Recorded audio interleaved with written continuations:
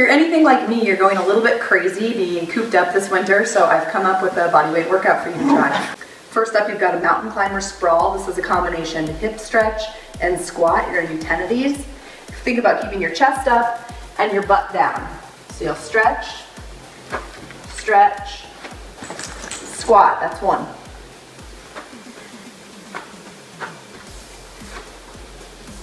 Two. Next up is a tent push-up.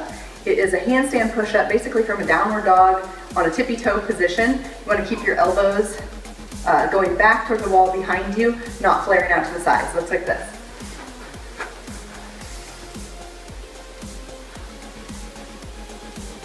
A note on that one, you don't have to go down very far. If your tent push-up is here, that's fine, or you can go all the way to the floor. Single leg deadlift, 10 on each side. You wanna keep your body perfectly straight like a teeter-totter. Hips facing the ground, shoulders facing the ground. Next is gonna be 10 sit throughs on each side. Your arms are gonna get a little tired during this one. Think about threading the needle, butt pointed toward ground. Here, and you'll kind of get in the groove. Next up are 10 skater squats on each leg. Think about driving this knee down toward the floor. They might be little mini squats, they might be just here, or it might be knee all the way to ground. Pull your back heel up toward your butt, and think about dropping your butt down.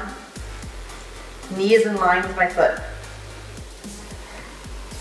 10 hand release push-ups, and really think about drawing your shoulders down away from your ears and retracting your scapula at the bottom on that hand release. That way you get a little bit of a row.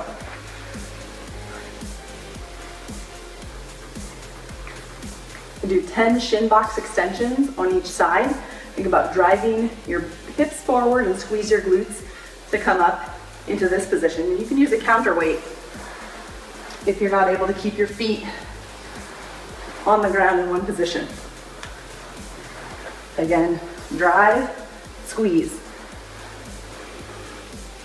This one's a combination grip exercise and row. Let's find any door, pinch it like this, row up. Do 10 on each side. scumbag, get on your face and give me 25. Sir, yes, sir!